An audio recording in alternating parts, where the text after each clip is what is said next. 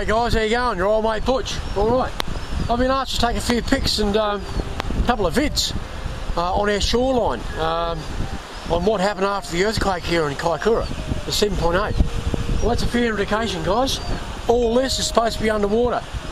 Alright, uh, it's been pushed up between 2 and 10 metres. But there you go.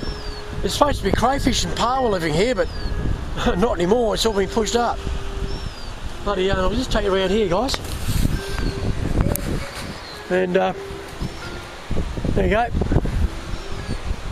This is one part of the shoreline here. Yeah, this has all been pushed up out of the water. Way over there it's the same.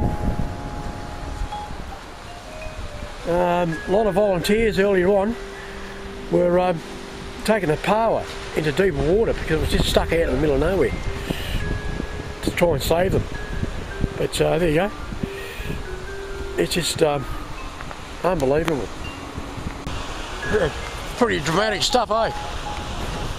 Oh, it's unbelievable. I mean, over there, I'll take you over there shortly to show you what happened over there.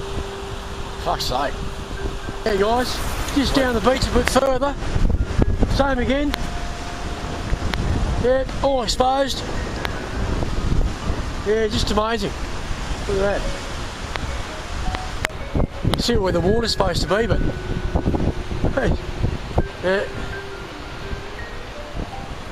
the water's now way down the buggery, down there. right. Shit. I mean, uh, yeah, he's about swimming down there. Not more.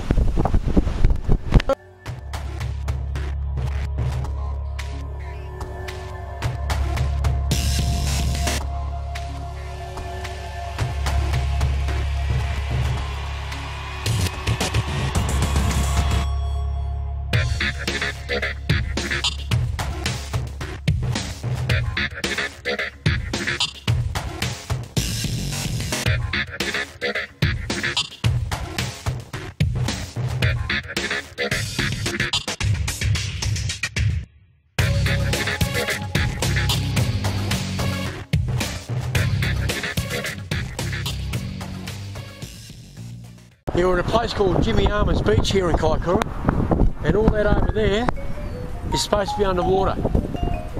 And uh, water's supposed to be up here somewhere but she's way out to buggery now. Um, yeah. so you can walk from here to the seal colony way over there. Obviously some cars over there and some uh, buses and stuff but uh, you couldn't before to go around the road you can walk straight across now you used to be able to launch your boats just here. but now you got to um, you got to take it out to there. It's quite a bit, quite a way actually. But uh, normally it was just here, but uh, now it's out there now. So, yep. I hope you enjoyed that vid. All right. See you next time.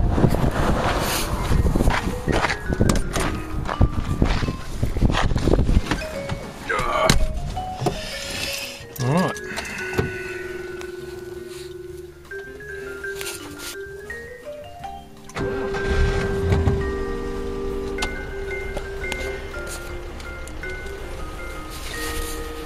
go home, shall we? Let's do it.